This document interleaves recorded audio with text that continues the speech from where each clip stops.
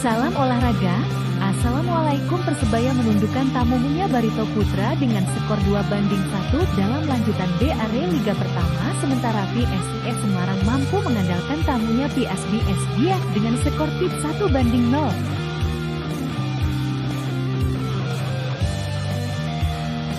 Dan untuk sementara Persebaya saat ini memimpin di puncak klasemen